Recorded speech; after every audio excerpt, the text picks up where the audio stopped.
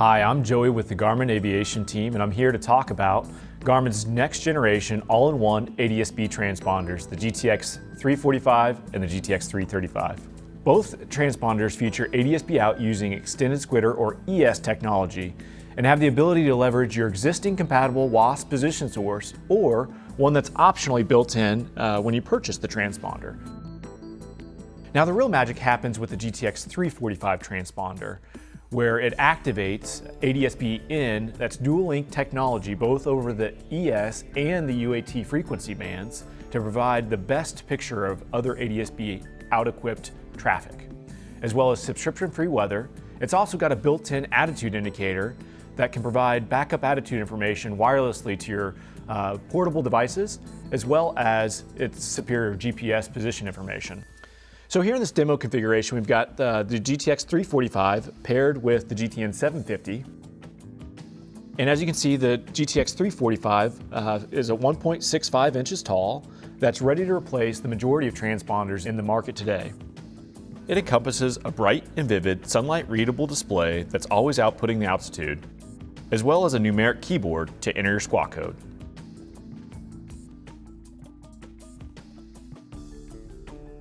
Some other handy features built into the transponder uh, include timers, such as count up or count down timers. Uh, that can help in uh, you know, operations such as timing and approach.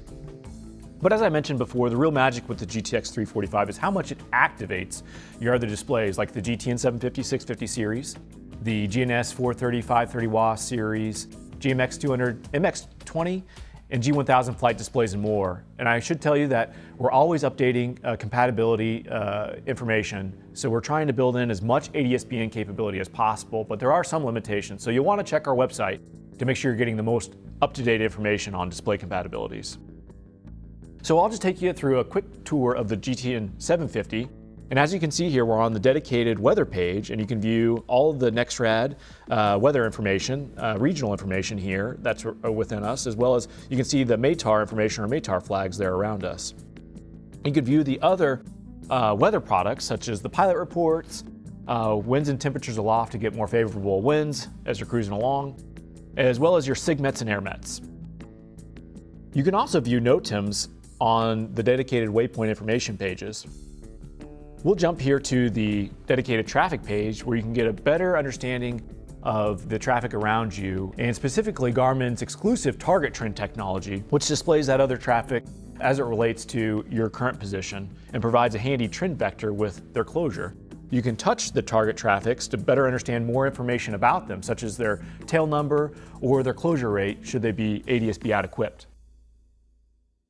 Back on the moving map display, all of this information comes together extremely elegantly to provide context to both weather and traffic as it relates to the ground features around you, like terrain, airspace, airports, nav aids. And even as you near the uh, airport in the terminal environment, you'll see Garmin's SafeTaxi diagrams.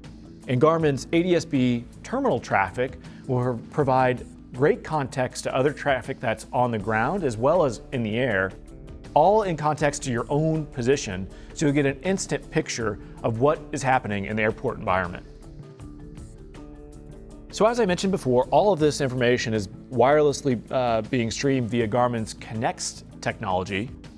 And in this case, up to two devices, and here we have Garmin Pilot running on an iPad, as well as the aera 796. And you can see it's powering the rich synthetic vision technology here on the aera 796, where you see 3D terrain around you, as well as uh, the traffic around you as well.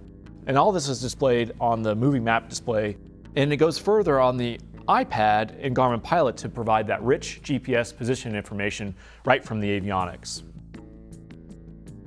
We make remote versions of the GTX 345 and 335 to pair with your GTN 750 as in this installation. You can control it right from the display as well as G1000, both WAAS and non-WAAS aircraft can add a GTX 345 or GTX 335 remote unit to provide for their ADS-B out, as well as some ADS-B in benefits on their display.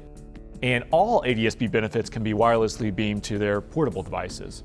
So this is a very elegant uh, and reasonable upgrade path for G1000 customers, not only for ADS-B out, but for ADS-B in information as well. That was just a quick overview of Garmin's next generation all-in-one ADS-B transponders. You'll want to check out more information on our website, garmin.com forward slash ADS-B, or schedule your installation today with your dealer.